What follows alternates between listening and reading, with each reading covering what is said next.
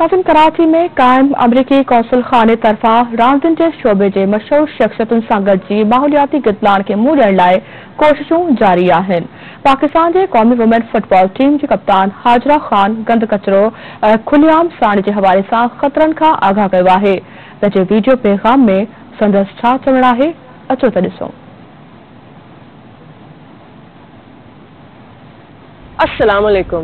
मैं Hajra Khan Pakistan national women football team की captain हूँ।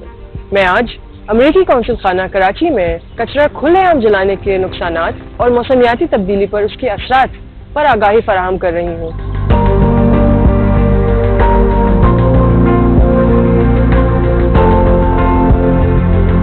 खुलेआम कचरा जलाना इंसानी सेहत के लिए बहुत खतरनाक है, क्योंकि इससे धुआँ पैदा होता है, जिसमें नाइट्रोजन ऑक्साइड, मुख्तलिफ़ ज़रात भारी धातें और तेजाबी गैसेस शामिल हैं।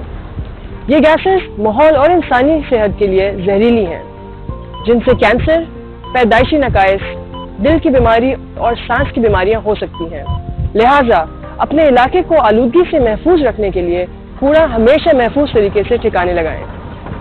आए, हम सब मिलकर पाकिस्तान को मौसमियाती तब्दीली के असरात से महफूज बनाएँ।